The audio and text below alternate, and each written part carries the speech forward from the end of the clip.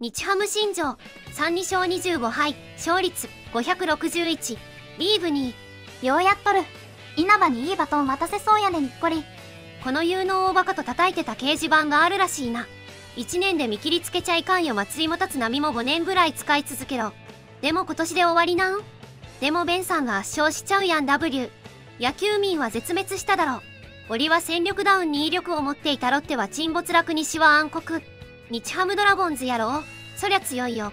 このチームどうやって立て直すんやって思ってたのは2年で立て直したの素直にすごいと思う。3年で育つからいいの。いいの。少し前と違って2軍の投手陣がマジで未来ある。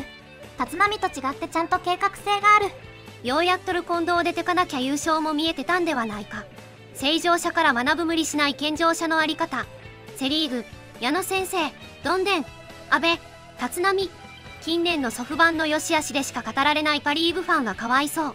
フラットに選手のこと見れるのが良い監督って感じや。2シーズン捨てて新庄に好き放題やらせたハムの軽眼弱小は見習うべきだよ。中日とか西武とか。日ハムって表には出さないけど育成のシーズン作ってない？まあ育成期間設けて黄金期作るフロントあってもいいと思うけどね。ちゃんと黒字出しているから補強できてるわけで新庄と立浪は変えない方がええわな。ご視聴ありがとうございました。